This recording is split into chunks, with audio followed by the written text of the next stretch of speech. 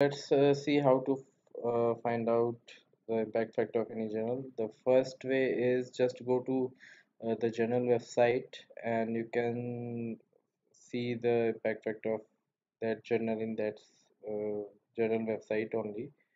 Uh, you can just Google it also. So you just type the name of the journal and uh, write impact factor.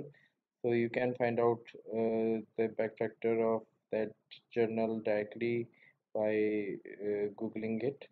Uh, you can uh, use third-party softwares like this uh, third-party websites like this one impact factor of journal.com to find out the impact factor of uh, uh, any journal.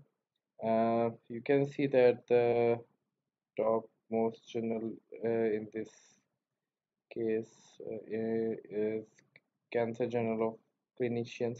So impact factor varies uh, with uh, subject also. So you, you will see that uh, for biological sciences, uh, the impact factor remains quite high. So uh, one can say that the impact factor of uh, 2, 3 can be considered as a low impact factor for biological sciences. Uh, but it may be uh, high for uh, social sciences. So impact factor of 2 is uh, considered to be high for social sciences, uh, but it is low for biological sciences. So it, it the range of impact factor uh, depends on the subject also. So one must not compare all the journals of every subject in the same category. You can see that uh, most of the top uh, journals uh, here belongs to biological sciences. But after I think uh, 50 100 uh, rank you you will find other journals also like this psych psychological bulletin and uh, psychiatry and energy physics.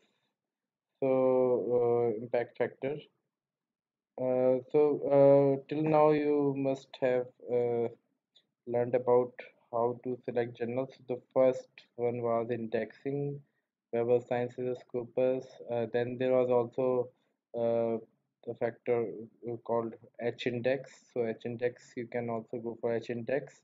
And uh, this is again uh, another factor, uh, another parameter, impact factor, which you can uh, use to find appropriate journal.